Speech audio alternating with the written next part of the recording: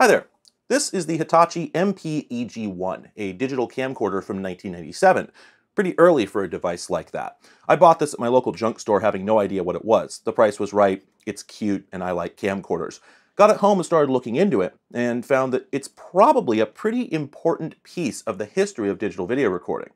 I've never heard of it, for reasons that will become obvious, but despite its flaws, of which it has several, it's still, I think, an important part of history. It demonstrates what was going to come, but came too early to start a revolution, a revolution that would, in fact, take much longer than I think anybody anticipated.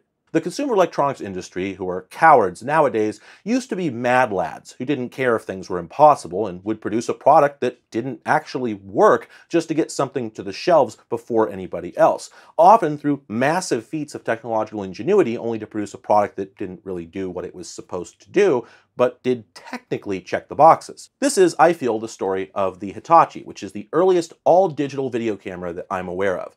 Rather than being a repurposed still camera that can also shoot video, it is a video camera that happens to include a still feature. Hitachi was so dedicated to this being a video camera that they actually call it the MPEG cam in the manual, and the model number is MPEG-1, which if you're not aware, was an incredibly popular video codec at this time. This camera makes no compromises that would interfere with its ability to shoot video, which is not to say that it does not make a lot of compromises. Let's take a look at the unit itself. I have to say it's one of the most pleasing gadgets I've ever owned in a number of different ways.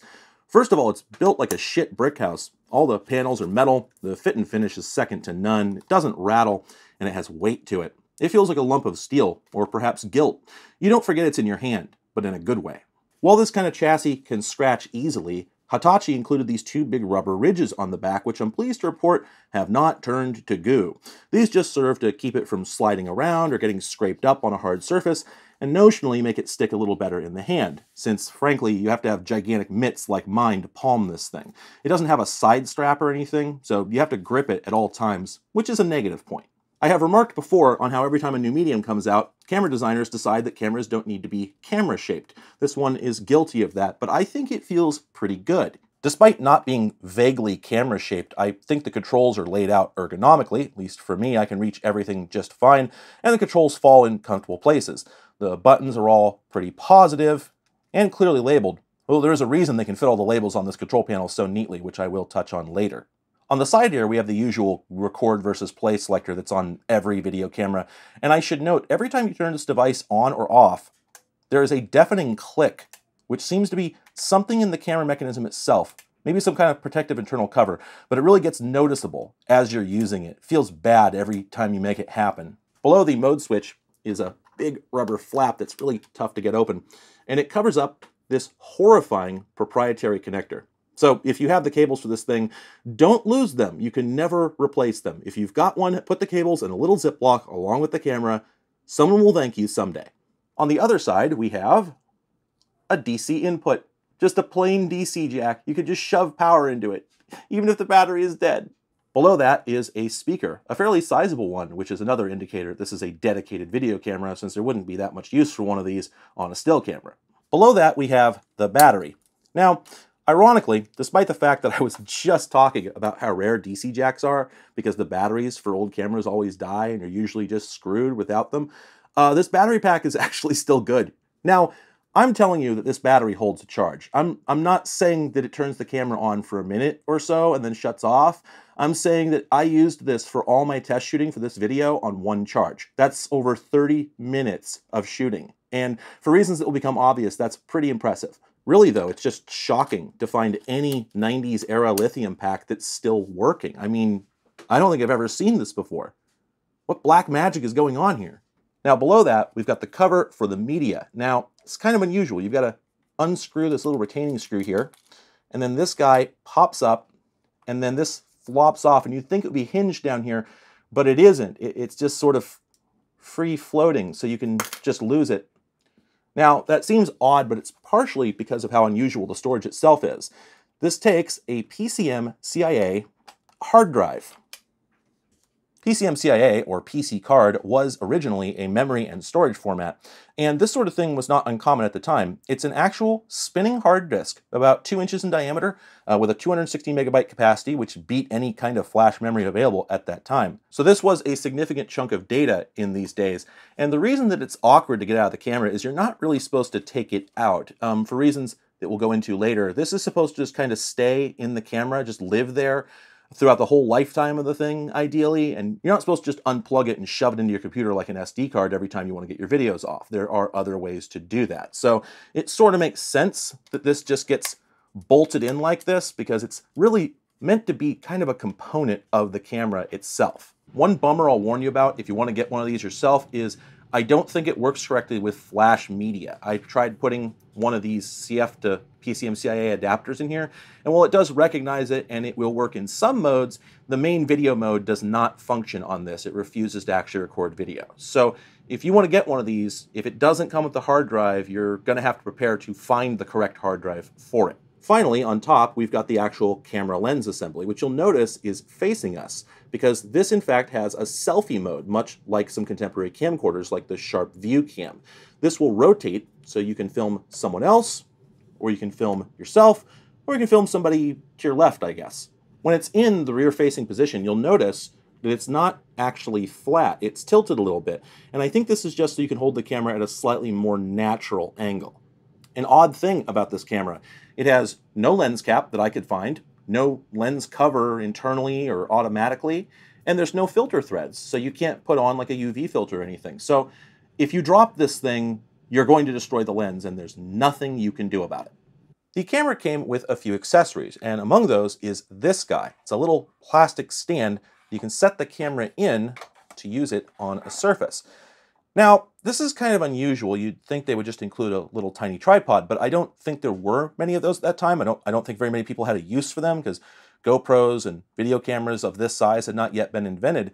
Uh, but it's a little peculiar to me that they didn't just make their own instead of this big injection molded plastic thing that's got a steel plate on the bottom. Still, it is a nice, stable way to hold the camera, and maybe the selling point over a tripod is that it tilts but it doesn't roll. It stays horizontal. So if you're using this on a desk, you're probably recording yourself with it. You're going to set it up here and then tilt it up so it gets a good shot of you. And you're not going to want to roll at all. You're only going to want the tilt. So maybe that's the reasoning?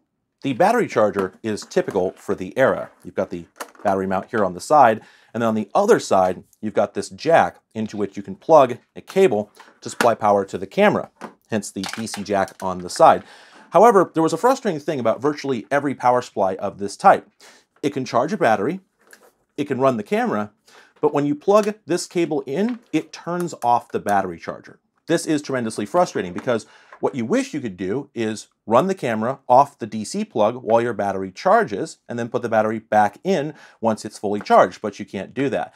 And on top of that, if you put your battery in here, but you leave the DC cable plugged in overnight because you forgot to unplug it, your battery's just going to sit there and do nothing. And in the morning, instead of having a usable battery, you're going to have a still dead one. I hate that so many manufacturers did this. The camera also came with a pop-out hood for the LCD. So you snap this on here, doesn't really snap. And then when you're out in strong sunlight, you can just flip that guy up and it shades the screen. Very nice feature. This was not a common thing on camcorders because they all had eyepiece viewfinders at the time, even if they also had flip-out LCDs. So if you couldn't use one, you could just stick your eye up against the other. But since this one only has the main LCD, if you can't see it, this camera is useless. It also, of course, came with an AV cable. Plugs into the multi-pin connector on the side here, and then you can connect it to someone's television. This was commonplace with camcorders because they often used formats that people didn't have players for, like VHS-C or Hi8 or Video 8, and with this particular device, it's advantageous because this device produces nothing that you can put into any standalone video playback device. So if somebody didn't have a computer, the only thing you could do to show them video was to plug this into their TV. So that's almost everything this came with. Not a ton of accessories, but fairly valuable ones. There's one other accessory that we'll look at later, but first, let's see how the camera itself functions. Operation is pretty dead simple. You put it in cam mode to record. Now, it takes a few seconds to start up, as you can see, because it's spinning up the disk and checking its contents. I admit this has already led to me missing a sudden event that I wanted to record, so it is a downside. With the apparent longevity of the battery pack, you could just leave it turned on and idle, but I'm pretty sure it'll spin the disk down eventually, and it would take just as long to spin it back up. I'll spin this to the side here, so you can actually see something. The LCD is pretty bright and clear. It's got decent resolution and refresh rate, doesn't smear too bad, but it doesn't have very good contrast. Uh, in strong sunlight, it often looks like parts of the image are massively overexposed when in fact they look just fine when you review the footage. The on-screen display can be turned off, of course, but it is pretty information dense. You've got the recording state, recording speed, date and time, battery state, remaining record time, current length of recording, and then the recording mode, of which there are four. This is video, and then there's still, continuous, and audio. The video mode is 352 by 240, 30 FPS at a fixed 1.5 megabits. Now I don't know how this will look, but if it looks decent, just wait till you see the rest of the footage. It's showing its good side right now. Still images are 704 by 480 JPEGs, which look like this. The continuous still mode can shoot at about 2 frames per second for a maximum 5 frame burst, and you can get about 3000 JPEGs on the hard drive in the best case. The last mode, audio, allows you to take a picture and then record audio to go with it. So this is 32 kilohertz, 128 kilobit mono MPEG audio, which actually sounds pretty good. And you could record up to four hours of it on this hard drive, which is interesting because I'm not sure you could buy a portable hard drive based audio recorder of any kind at any price in 1997. So I suspect that this actually had longer runtime than any other portable recorder in existence. And that's not my wheelhouse, so I could easily be wrong, but I think it's possible. Now, the audio is sadly probably the best part of this device because as a camera, it's basically photographer's kryptonite. One of the reasons for this comes back to what I was saying earlier about the control panel. It's very nice and clean and neat because there aren't any actual controls on it. If you notice, there's no macro flower, no focus control of any kind, no exposure, no white balance, nothing. All the controls on this camera are fully automated. Even if you delve into the menus, there's nothing in here that actually affects how it records, just some simple LCD adjustments, formatting the card, setting the date, etc. The only thing that affects how it records is the record type, which can be set to clip, which just means that it'll only record when you hold down the record button, like an old film movie camera. This is terrible news to any photographer or videographer. Really, I think anyone who's ever touched a camera would be aghast to see this, but I don't think all the controls in the world would have saved this camera from the problems that show up once you actually look at the footage. Let's do that now. For startsies, let's just take a walk outside. Now, pausing right here, this freeze frame doesn't look all that bad. Yeah, it's very low resolution, but it's not jarring, it just looks like a low-res photo, and you can more or less make out what's going on. But now, let's open the door. Right away, things are much worse. Some of it is about what we'd expect. While you can make out the shape of the compost bin, the text on the side is illegible, and of course the bushes are a jumbled mess. If you have any knowledge of video codecs, it won't be shocking that the details suffer horribly in low bitrate video, but it gets worse. It's hard to make out what kind of vehicles are parked outside, for instance. The telephone pole in front of the white truck is just a meaningless blur, and the colors everywhere are atrocious. This is garbage. This is nothing. It's not just bad, it's useless. At times, it seems almost reasonable. For instance, I went out on the street and recorded a vlog, something this camera is suited for, with the rotating lens and the smartphone-like hand posture. It feels like it was made for this purpose. And for some reason, the macro blocking is nearly invisible here. You hardly notice it. On the other hand, in my backyard, the texture of the plant life just wreaks havoc on the codec and my face is almost unrecognizable. In a slow pan across the sky, you can see the compression nosedive when the foliage comes into view, then the image softens when it leaves again. When shooting these miserable little flowers, things go from shredded to okay to shredded again with what feels like little rhyme or reason. Even images that I think are less complex end up rendering much more poorly than others, and there is a logic behind this, I'm sure, but I don't have the eye for it, and I would expect very few consumers would have either. I was worried that this was happening because of my specific environments. Maybe it just looks bad in direct sunlight in my backyard. So I wanted to go try a completely different venue. Welcome to the forest. I'm vlogging from the forest.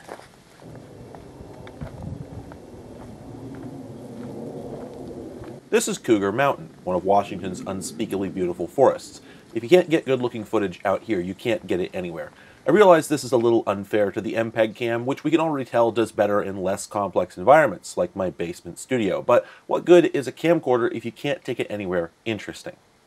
Sadly, the compression issues are just as bad here. It's not something magic about my backyard that was doing it dirty, and that's really a shame because this place looks incredible. If you brought your camcorder to visit somewhere that looked like this, but the footage you brought back looked like this, you would return that camcorder. Even when it feels like the codec is doing better than usual, the image is still incredibly muddy, and I don't think the resolution itself is to blame.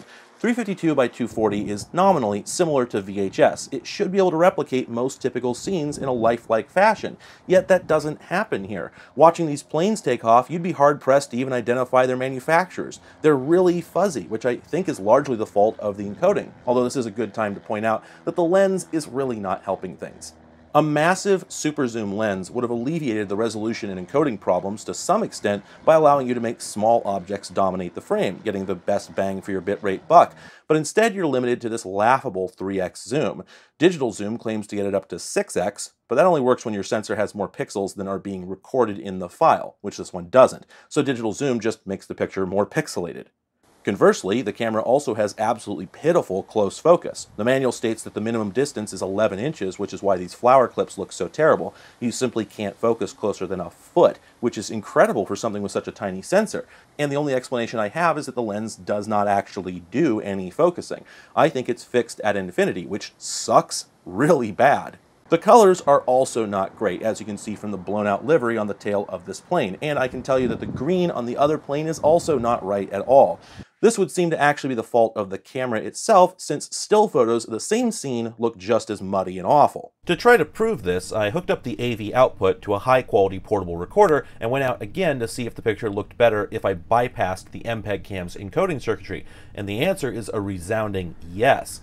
Ignoring the improvements from the superior compression, everything else is better. The color, sharpness, contrast, and detail are all improved, as well as the frame rate. It's a full 60i, which makes me think that the camera is not a native digital unit, but an ordinary analog one connected to a crappy digitizer, which is trashing the image even before it makes it to the MPEG cam's awful encoder. So many of this camera's problems could probably have been alleviated with a better AD converter. That said, the MPEG cam itself did do a lot better here than anywhere else I tried, probably due to there being much less distinct foliage in the scene, but I don't think that really gets it off the hook. I admit, this is probably a much less adversarial environment than the other ones I tested in, and the footage probably looks a lot better. But what's the point of a camcorder where you don't know if the footage is going to be usable until you get it home and look at it? At that point, you might as well just shoot on film. In scenes with fast motion, the camera does a little better, simply because detail is not as important and you don't have time to pixel peep anyway, but even then, the pictures simply do not look good, and I think it's safe to say that this camera would not really have been useful for anything. As well built as this camera is, and for whatever clever features it offers, it all just falls apart when you look at what it actually records, and almost entirely due to poor compression. So how and why did this happen? What it comes down to, I believe, is that this device just doesn't have the processing power to encode the video effectively. See, it uses MPEG-1, but neither the codec nor the bitrate nor the resolution are an excuse for how bad it looks. For instance, this extremely misleading sample video from the CD, which you definitely could not produce with this camera, looks outstanding, really. It's detailed, lifelike, smooth, more than watchable, but it's at the same resolution and lower bitrate than the MPEG cam. It's only 1100 kilobits instead of the MPEG cam's 1600 or so. So how is it so much better? Well, a property of MPEG and many other codecs is that they only specify the format of the file, not the method used to produce it. As a result, there are many different approaches to encoding it, and the amount of computational power you put into it determines the quality of the output. I can illustrate this. Here's a video that I shot with my cell phone at 4K in H.264. Now let's take that same video and crush it to the same codec, resolution, and bitrate as the MPEG cam, that's this, and now let's take the video from the MPEG cam shot in roughly the same place and time and put it here. Now once again, the MPEG cam has the bitrate advantage. It's shooting at about 1600 kilobits while my video is locked to 1500. And yet the MPEG cam is nearly unintelligible while my footage looks almost like a low quality DVD or a really good VHS rip. Virtually all the characteristics of both these files are identical, except that one of them had all the power of a 2020s computer put into encoding it, while the other one got whatever Hitachi could squeeze into the MPEG cam. You see, this camera doesn't have a CPU in it doing the encoding. It has a dedicated custom chip, an actual hunk of silicon that Hitachi designed themselves. They were apparently pretty proud of it, and I can't blame them. They made this in 1996, and designing a complete MPEG encoder decoder chip at that time was pretty tough. However, it seems to me that they just didn't put enough oomph in it. The best explanation for this camera's problems is that it simply doesn't have enough computational power to crunch the numbers fast enough to produce a reasonable quality output. It may produce 1600 kilobits of data, but it's using very simple math to do it. I can actually demonstrate this phenomenon.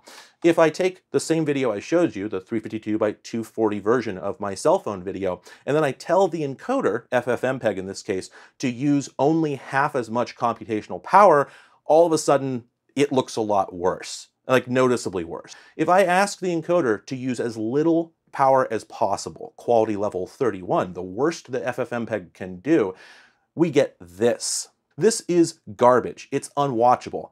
And it's still better than the MPEG cam, which is astonishing. The MPEG cam produces the worst footage I have ever seen in any format, except for that time that someone sent me a copy of the entire Bee Movie compressed to 8 megabytes. The cause of the problem seems straightforward to me, but the question is, how did Hitachi look at this and go, oh yeah, this should go to market? How did they not see that this was unusable and pull the plug? Well, I have absolutely no idea. I couldn't begin to tell you. There's no information. Um, however, for some utterly baseless speculation that's definitely wrong but leads to a convenient segue, maybe this device originally used a different codec when they were developing it, one that was more efficient, used the processing power and storage they had more effectively, and then they had to pivot to MPEG-1 when their marketing department decided to switch this device from just being a general purpose camcorder to taking on the fastest growing phenomenon in telecommunications history. See, once you're done shooting video on this thing, you've got to play it back somehow. Now, you could just get the AV cable and plug it into a television. Uh, let's take a moment and see what that looks like. Okay, so it's a tiny bit more watchable, but not much. Even on a little CRT like this, the compression artifacts are still grossly visible. And anyway, Hitachi wasn't really targeting that market. They didn't just want to make a camcorder that happened to be digital. They wanted to make one that was ready to take on the internet. In 1997, MPEG-1 was probably the most widely supported codec in the world, and people were getting internet connections at a breathtaking pace. Hitachi saw the coming revolution of internet video, thinking it was going to happen any moment, when in fact it took another decade plus, but they thought this camera could be at the forefront of it. Their marketing for this actually suggests that you shoot video on this camera and just shove it straight onto a website unedited. Now, nobody was going to do that, edited or unedited, given the quality of this camera's footage, but let's see what that process might have looked like. Since the storage medium is PC card, you might think you can just pop it in the side of a laptop. And you'd be right. Any laptop with a two-slot card bay can accept this drive, and on most OSs it should just pop up and work right away, showing up as a normal mass storage device, like a USB drive. You can simply copy the files right off the card and watch them. Of course, if you didn't have a laptop, this wouldn't work. You could buy PC card adapters for desktop PCs, but they were often fairly inconvenient, and if you had, for instance, an ultralight laptop with one slot or no slots, you were out of luck completely. Hitachi did provide solutions, however. Two adapter kits were available for the MPEG cam, both of which plug into the big multi-pin socket on the side. One of them adapted to the parallel port, which virtually every computer had at this time, and the other was a proprietary ISA card, which they simply call the ISA interface, which provides some kind of unknown connection over a 6-pin DIN plug. The ISA card is odd. It's clearly missing a lot of components that could have been on there. Among those, AV in and out jacks as labeled on the board. Now, the multi-pin connector on the camera has so many pins that I strongly suspect they intended to have AV in on the camera from the get-go, and that this board would act as a sort of port replicator when it was plugged in. But there aren't enough pins on the DIN cable to support those signals. So I don't know if this was meant to be some sort of standalone video input-output card for the PC, or what. At any rate, either attachment method allows you to get your videos off of the camera without taking the drive out, like I said earlier. You can just leave it in there indefinitely, and when it fills up, you plug it into the computer, copy your files off, wipe it remotely, and then keep going. One bummer, however, is that when connected using either method, the camera does not show up in my computer. In order to access the drive, you have to use Hitachi's software. The software is unsurprisingly not very good. I don't think Hitachi developed it themselves. I think they got some random studio to just slap together the bare minimum viable product, so it's pretty rough. Basic file transfer is accomplished with pure VI, which is little more than a basic file browser that happens to have been extended to recognize the camera driver. By the way, I kept having trouble getting it to recognize the camera. Turns out that's because I was putting it in play mode, which is what anybody would think you should do. But if you notice, the PC mode is actually the record mode. That's bizarre, but okay. The UI is not stellar. Um, if you want to copy files off the camera, you can't just drag them out of the window and drop them in an Explorer window. You have to navigate through the tree view, find the folder on your local drive you want to put them in, and then go back to the camera to drag them out. This is a nitpick, however. Most people would not really have cared about that. Now you'll notice that there's five folders here. These are actually created automatically by the camera because it supports a feature I'm not sure I've ever seen before. From play mode, you can press media navigation to see the list of files on the card. This is actually a pretty crisp and intuitive interface. It displays a list of folders and a convenient summary of what quantity and type of files are in each one.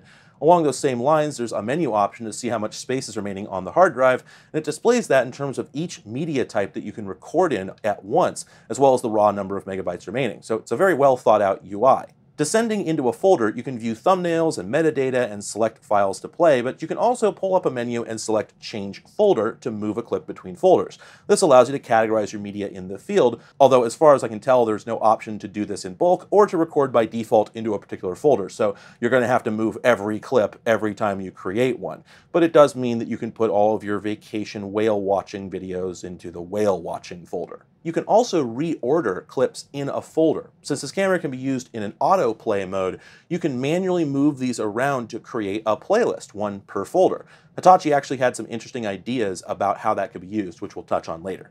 Another very curious feature in here is the ability to modify the date and time that a clip was recorded. Never seen that before. I feel like its only possible use would be fraud.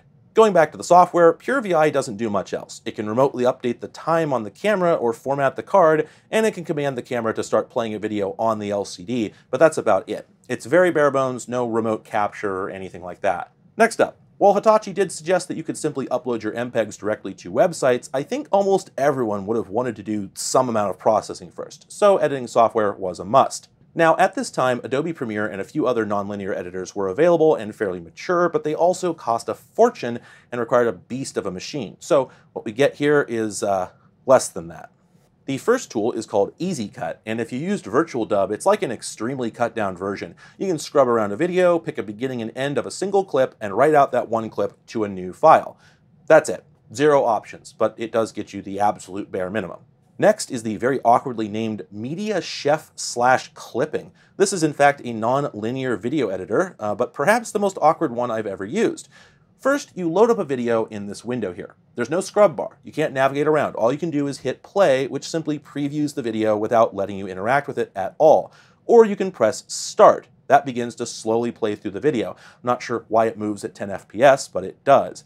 As it plays, you can see the video appearing in the window at the bottom. That's the timeline, and the video image represents the current selected clip. If I hit cut, it'll place an edit at that point in the video, make a new clip, and keep rolling from that moment. And I can continue doing this until the video is fully divided into segments.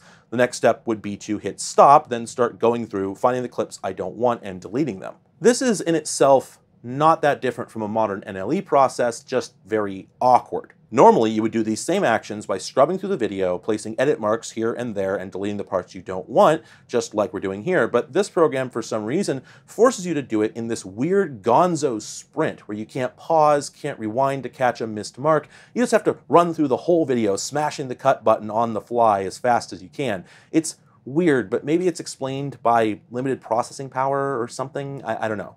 To clean up the edits, you can then right-click on each clip and go to Trim, which shows you a sort of rudimentary timeline with each frame broken out so you can find exactly where you want to start and stop and adjust each trim point. This is actually not a terrible way to do it, and I kind of wish it just worked like this from the get-go. In fact, you can sort of edit like this by just dropping the whole clip into the timeline directly, then going to the split interface, which allows you to pick a point to split the video into two clips. You can then repeat this process to find each desired cut point, then delete the in-between clips. But since you can't actually play the video in full motion this way, it's really hard to find the right spots. At first, I thought this could only do one file, but no, you can actually drop in other clips and assemble a video out of several different pieces of media. It only does MPEGs, no still images, no AVIs, but this does at least give you the bare minimum functionality of a pair of video editing decks. You can take two sets of footage recorded separately and assemble them into a basic composition, like this. Welcome to the forest. I'm vlogging from the forest.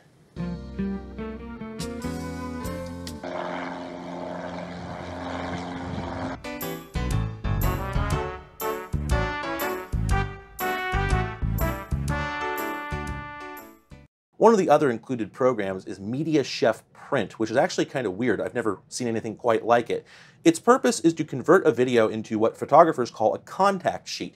Basically, it offers options to split the frames of a video into a series of stills and print them on paper in a grid. You can auto-generate the sheet by picking a frame every few seconds automatically, picking frames by hand, or a few other methods.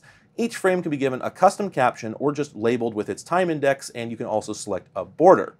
I'm not super sure what this program was intended for, but basically, in an era when digital video playback was still not super convenient, it makes sense people would want to put a video onto paper somehow.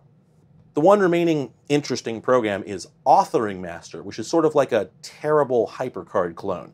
The program launches with an empty canvas, which you can then populate with a background image and any number of buttons. The buttons can either pop up an image, play a video or sound clip, or jump to another authoring file.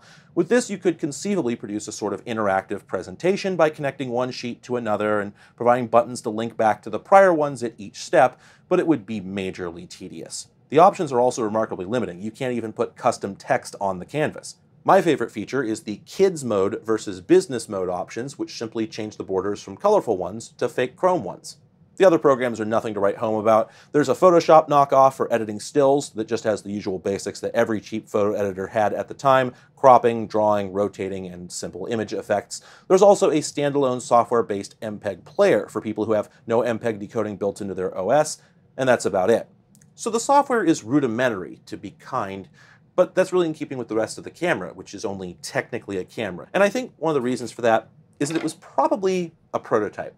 You see, a year later in 98, Hitachi released the M2, which several magazines reported on as if it were exactly identical to the MPEG-1.